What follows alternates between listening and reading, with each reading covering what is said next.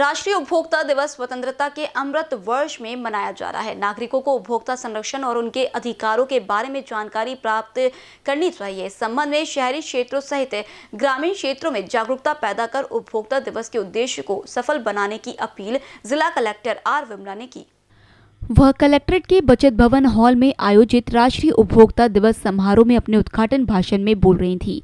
कार्यक्रम की अध्यक्षता अपर कलेक्टर शिरीष पांडे ने की और मुख्य अतिथि जिला उपभोक्ता शिकायत निवारण फोरम के सदस्य अविनाश प्रभु ने थे। जिला आपूर्ति अधिकारी रमेश बेंडे, खाद्य वितरण अधिकारी भास्कर ताइडे सत्यापन विभाग के सहायक नियंत्रक पांडुरंग बिरदार, अखिल भारतीय उपभोक्ता कल्याण परिषद के सदस्य देवेंद्र तिवारी, मोहम्मद शाहिद शरीफ, कमल नारायण राम पल्लीवार उपस्थित थे। कैमरा पर्सन राजकुमार मोहर के साथ अभिषेक पांसी बीसीएन न्यूज़ नागपुर।